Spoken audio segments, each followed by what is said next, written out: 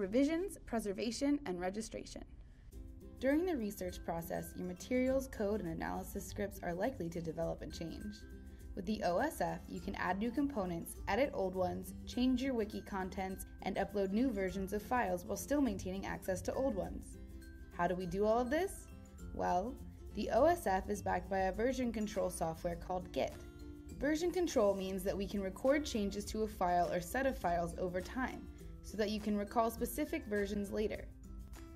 When you add an updated file with the same name to your project, the OSF automatically updates that file for you and keeps a record of all of the previous versions. With a simple click of the mouse, you can retrieve a history in any older versions of that file. Additionally, there are times in a project's life when there are important events you may want to preserve. We give you the tools to do this with our registration feature. Using this feature, you can create a frozen version of the project at any point in time. For instance, you can use this feature to pre-register your materials, design, and analysis before data collection begins.